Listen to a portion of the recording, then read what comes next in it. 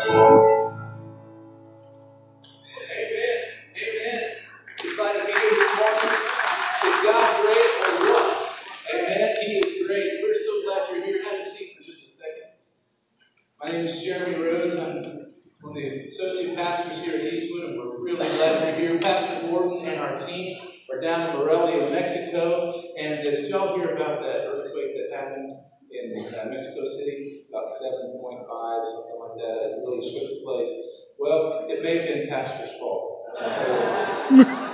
um, Pastor was preaching there. They were having a service, and then the whole place started shaking. So I just told him, I said, Brother, you're preaching with great power. Uh, and uh, so, but no, please pray for Mexico City and all of that. There was a lot of devastation, people that were really hurt. So we're glad that you are with us here each so much for coming. Guests, we're really glad that you're with us. I got to meet a couple of you earlier as we came in this morning.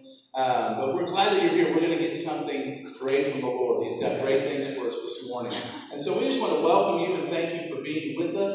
Um, if you do us a favor, uh, we got a couple of ways we'd like to just get to know you. One, if you're a smartphone user like a lot of us are, um, you can just text uh, welcome to the 918 558 2864 and uh, just way the just saying thank you. For us to know that you've been here, we just want to say thank you. That way you can also take, there's a card in front of you if you like to fill things out. You're just a writer. You can go and do that. At the end of the service, we have a special gift for you, so we'd like to meet you back at the coffee bar.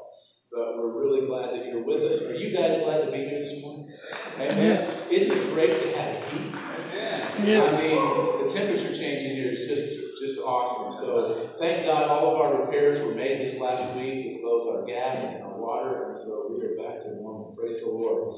Well, would you stand, greet somebody next to you, tell them they're, they're really good looking.